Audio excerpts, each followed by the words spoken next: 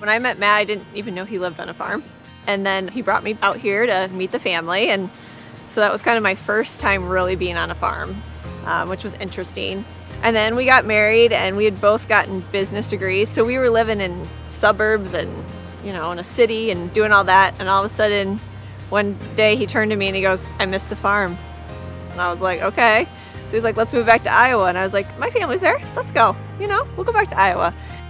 I didn't go into it saying, hey, I want to go do this because I'm going to make money. Like, I went into it because I grew up, we used to do farrow to finish here, and then we custom fed for a local gentleman here starting in 96. So I went into it because I'd been around pigs, I like being around pigs. I would say that it's what, 100 feet from my house, and I barely know it's there.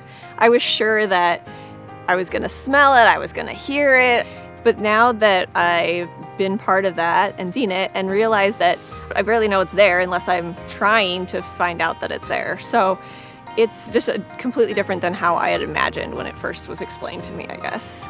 Matt and his family have really gone above and beyond those regulations. I work in the regulatory world, and to see somebody that has implemented so many practices on their farm to decrease their environmental impact, it's incredible. Between his solar panels, his mist system in the farm, the cover crops, the no-till, the you know minimum tillage that he does on his fields to really conserve soil, water, air quality, his beautiful landscaping around the site here.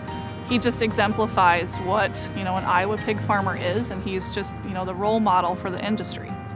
Technology is advancing very quickly each year and there's, you know, new practices that come out, new technologies every year, and it's really been neat to see how Matt and his family have really been open and accepting of those and implementing some of those things, and it's really, you know, the, the way of the future for the industry.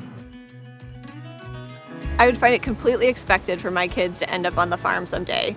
All three of them have different things that they like about the farm. Some are really into the animal care, some are into the crops and the tractors, combines.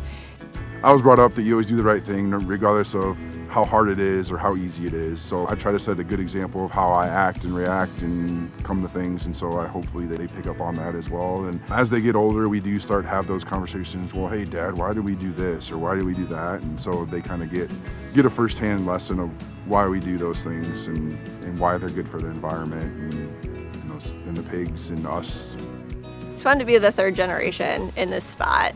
It makes us proud. It we are grounded here in family and tradition. It's fun when we have all the generations here. So Matt's grandma still comes out. His parents are up here all the time. It means a lot and it keeps us going. Um, we have great friends, great support. The kids play sports on several teams. Um, they're involved in lots of activities. We're involved at our local church. The support and the friendships that you get in your community, you can't really replace. My name is Matt Ditch. I am Melissa Ditch. And I'm an Iowa pig farmer, and we, we care, care about, about Iowa, Iowa too.